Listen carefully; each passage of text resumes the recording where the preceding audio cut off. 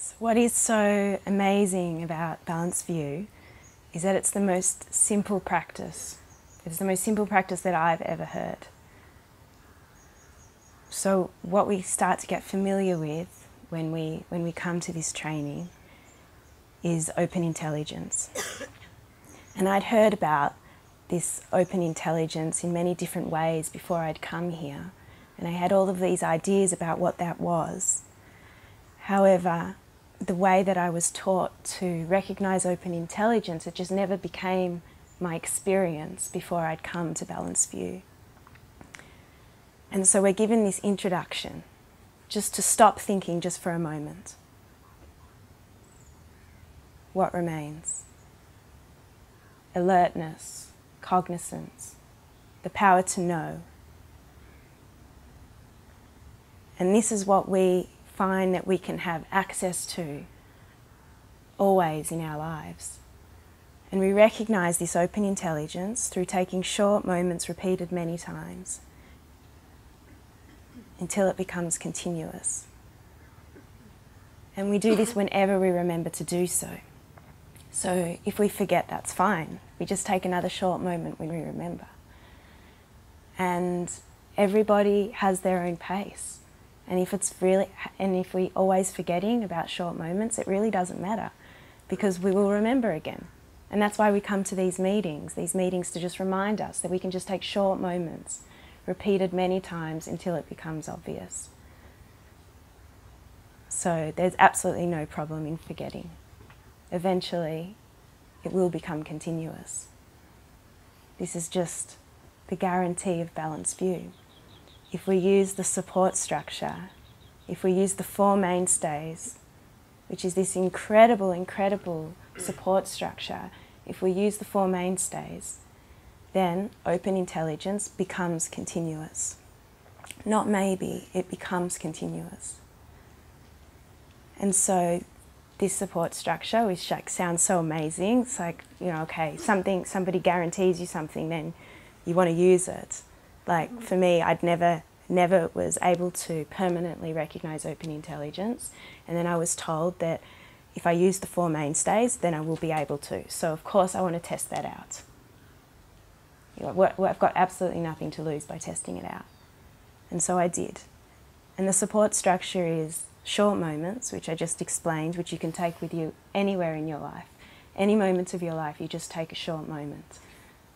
If you're in work, if you're on an aeroplane, if you're thinking about getting on an aeroplane, it doesn't, it, it really doesn't matter. Short moments are just always there for you. And then you've also got the community. So here we are all together, the community of people relying on open intelligence. And it's so powerful to be together because we all remind each other, we just look at each other's faces and we just all remind each other that we all have the power to recognize open intelligence. I know that I look at all of you and I see just how completely amazing you all are. And I know that if you're all amazing, I'm not the unique one who's not. You know, like we all are very, very powerful. So it's very, very, uh, it's just a lot of fun and very supportive to hang out together on, to hang out together. And if you like the computers, then that's great. We can hang out together online. If you live in a remote area, you can. Everything's available online. And uh, and if not, then there's always places that we can gather like this.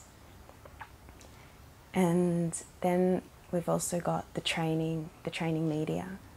And this is, for me, this is one of my most supportive uh, mainstays when I'm not living with the community because sometimes I will be in living in Australia and um, there's just a small community there and so I am just constantly plugged into my iPod. I go for swims, I've got an underwater iPod and I can listen to talks there. it's like everything you do, everywhere you go, you can just take the iPod everywhere and we can give gifts to each other. We can give like an iPod downloaded with all of our favourite talks to our mum and anybody who's interested. There's always solutions. And, uh, And then we also have the trainer. And the trainer is just incredible offering, like that we have somebody in our lives that's just completely committed to empowering us to recognize open intelligence. Showing us that open intelligence is always there, always on, whether we're thinking or whether we're not thinking. It doesn't matter. Always in, open intelligence is always on. So I know for myself, like when there's a data stream that just feels like really, really intense, like anger or fear, then sometimes the short moments don't feel like they're working. Sometimes the data stream just feels like so, so strong and captivating, like it's really real, like I really, really need to give it attention. And I know that open intelligence is the only actual reality. So when I see myself getting caught up in a data stream like fear, anxiety, then I just write an email to my trainer. And the trainer like is just sometimes I just writing the email, sometimes I write the email in my head and that's enough. Sometimes just in pressing send already it doesn't even matter what her responsive is. I've just it's just completely resolved and spontaneous reality, open intelligence is all that is obvious just through that support, just knowing that she's there. And sometimes I love to get her response and I write back again because it's still not obvious. And then through this relationship and through this contact with my trainer, fear is just completely outshone.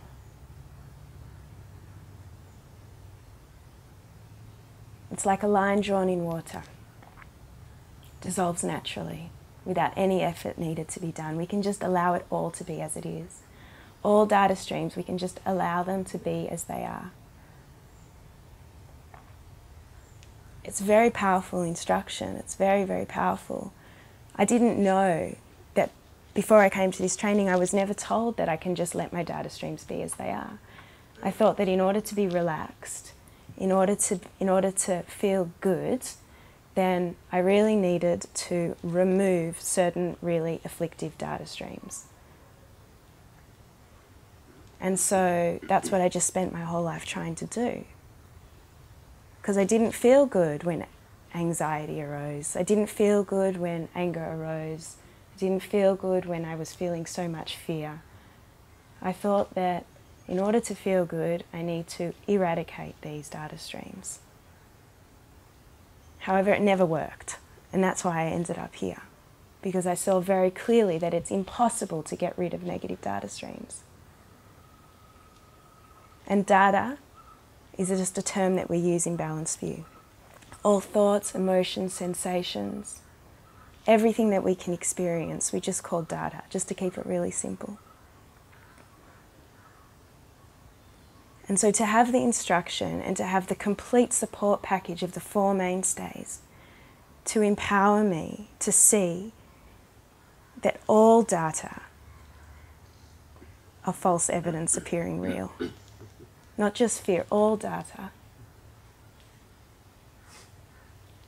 Everything, I have the power, I have the capacity to experience all data. There's nothing that I can't experience. There's nothing that I need to get rid of. There's nothing that I need to avoid. So if I'm feeling lots of hatred, for example, I maybe thought in the past that that meant that there was something wrong with the person that I hate. So I need to get rid of that person in my life so that I don't feel hate. Or I would indulge that hatred to find some type of relief from the hatred. Indulge it. That would mean maybe gossiping about it with another friend who agrees with me about the person that we hate. And then I would find some type of relief there. Or just completely avoid it, like, or replace it. I'm just, I'm a really good person. I don't hate, I don't hate, I don't hate. Love, love, love, love.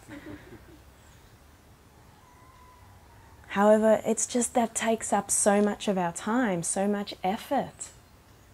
And actually, we're dampening down our power. We're not leaving reality as it is when we do that. Because as reality, this hatred, that is what is present. And so to allow that hatred to be as it is, to really let myself be as I am for the first time ever, this is powerful. This is how we come to see that we are not a victim to our data streams. We are not a victim. I'm not a victim to my hatred. And to take short moments with this hatred while I'm speaking to somebody who where all of this hatred is coming up, to take short moment to use the support, I see that actually like I am completely in love with this person. Hmm. Like completely in love. Like there's nothing that I hate about that person. And then this resolves all hatred in every area of my life. And somehow it resolves money data as well. it's like every single data stream that we relax with, every data stream that we take support with, it resolves all data that's going on for ourselves and for everybody. So if we're finding it hard with some data streams to rest with, then we can just like relax and use the mainstays where we find it easier to rely on open intelligence. And we see how much that will support the really afflictive times as well. And it's just so good to know that just by you showing up, just by you being here, by you asking your questions, this is this is the best that you can be. This is like this is this is how you this is how open intelligence becomes obvious in your lives. I see that my creativity, my, the way, my articulation, the way that I express myself is grounded in open intelligence, which is synonymous with the benefit of all. It's not, it's not grounded in confusion and the constant changing of data streams. It's, it's rooted as open intelligence. And when something is rooted in open intelligence, then the ability for it to flower and flourish and expand in a way that is completely unima- unimaginable. Like if you just think about your creativity and then think about what your potential of your creativity is, that would be just the starting point when it's rooted in the benefit of all. So you just need to trust the, the four mainstays. Just use the four mainstays.